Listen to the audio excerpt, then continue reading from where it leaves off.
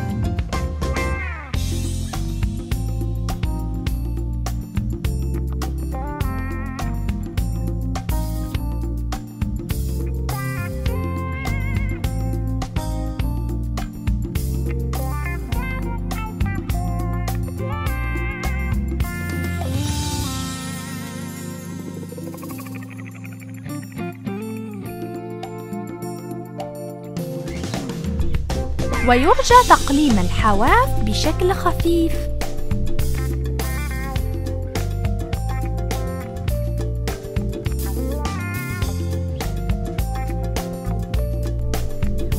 ثم سنقوم بتلوين الوجه.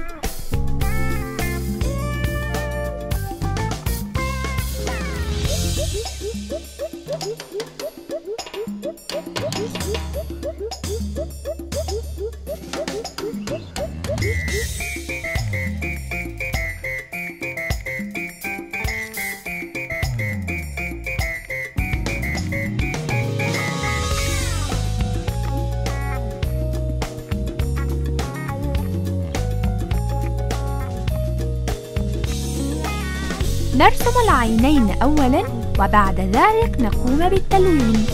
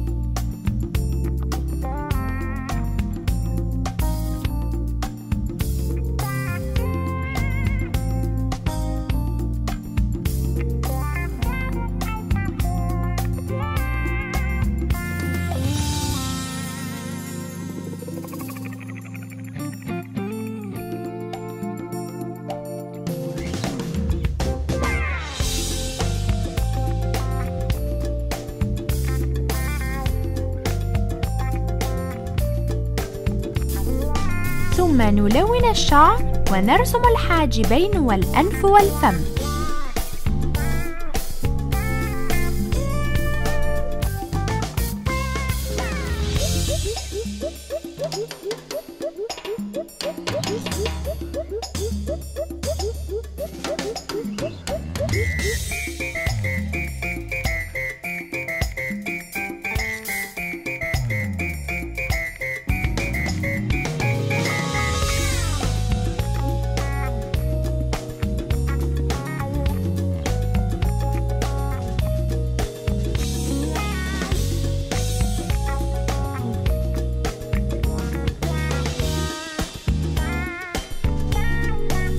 بعد ذلك نرسم الأذنين بشكل خفيف.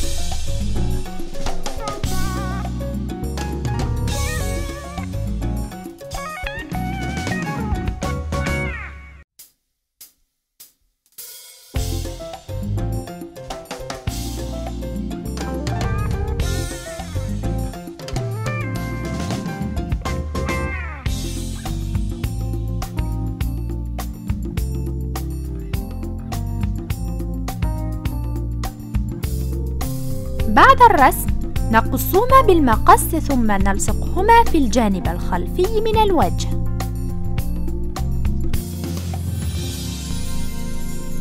نمسك مكان الأذنين ونقلبهما ثم نلصق بالشريط اللاصق العادي.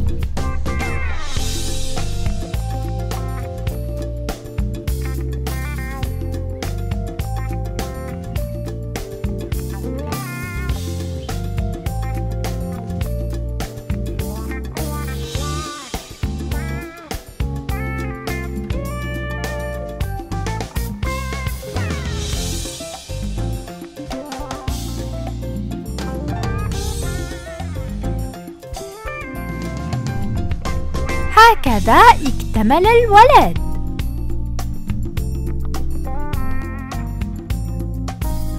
ثم نجهز طبقا معدا للاستخدام لمرة واحدة ثم نقصه بنفس الطريقة التي قصصنا بها قبل قليل.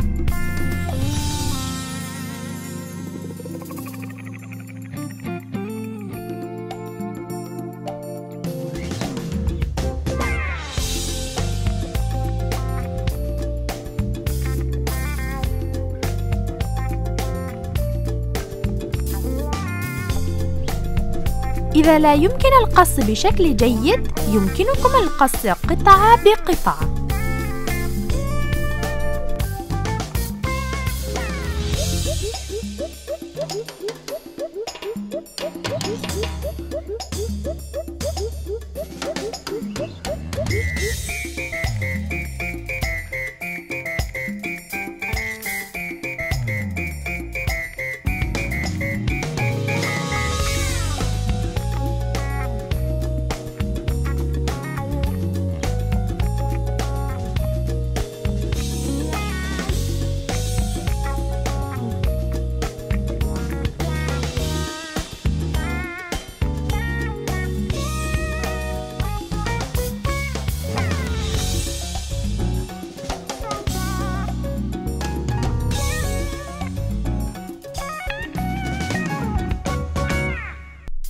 ثم كقبل قليل نرسم الشعر ثم نرسم العينين أولاً.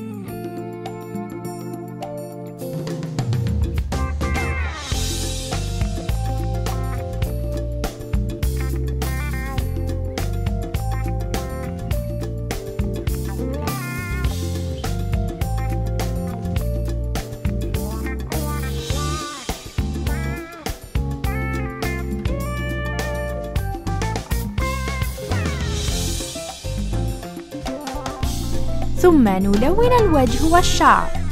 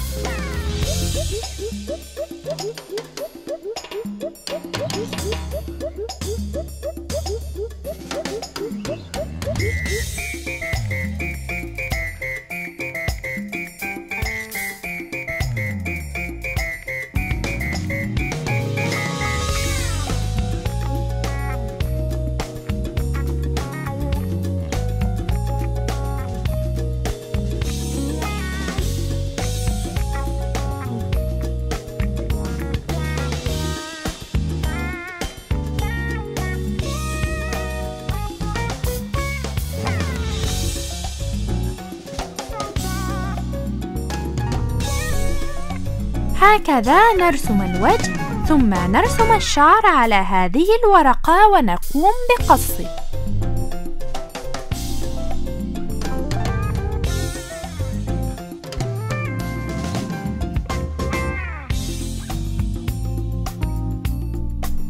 نضعه على الورقة ونحدد مقاس الشعر.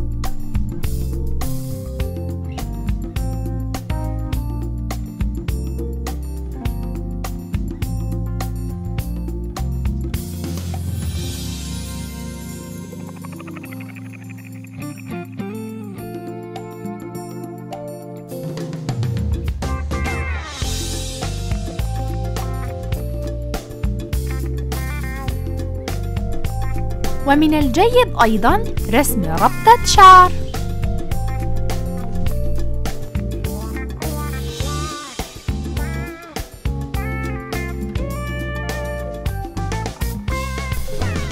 والأذنان أيضاً نرسمهما بشكل خفيف ثم نلونهما.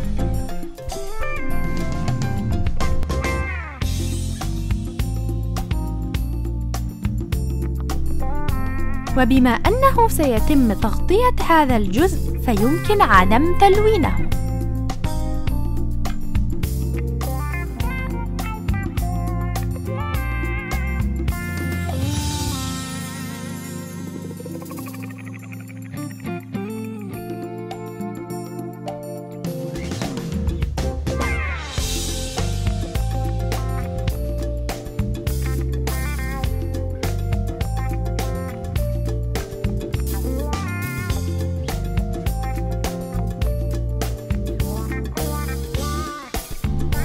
ويمكنكم التلوين باللون الذي تحبونه يا أعزائي.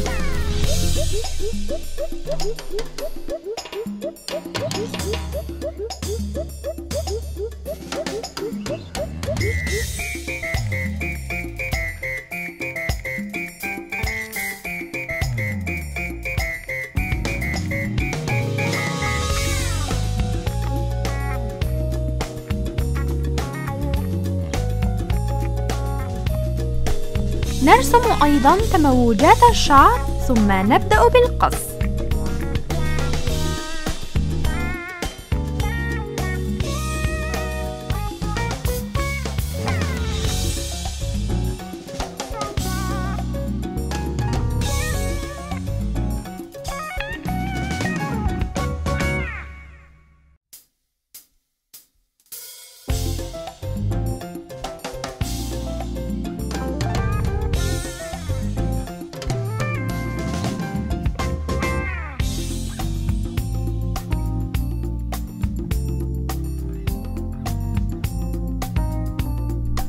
ويمكن لصقها هكذا.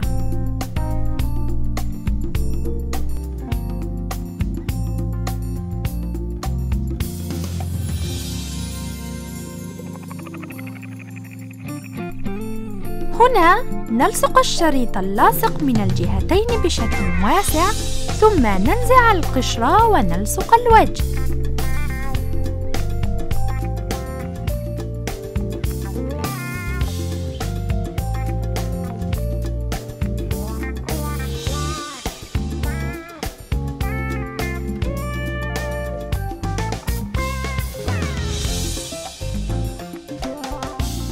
يا أعزائي هكذا اكتمل كل شيء. كيف كانت محاضرة اليوم؟ للأسف الشديد محاضرة اليوم هي المحاضرة الأخيرة. من الجيد أن تقوموا يا أصدقائي بالأنشطة بشكل حر بمحتويات المحاضرات التي تعلمناها معا. ليس بالأدوات التي تعلمناها فقط في وقت الرسم ولكن ابحثوا عن الأدوات فيما حولكم وارسموا بحرية. لقد جهزت للقيام بالأنشطة المتنوعة معا، فما رأيكم؟ أكان هذا ممتعا؟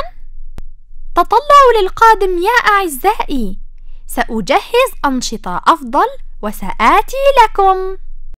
إلى لقاء قريب، مع السلامة.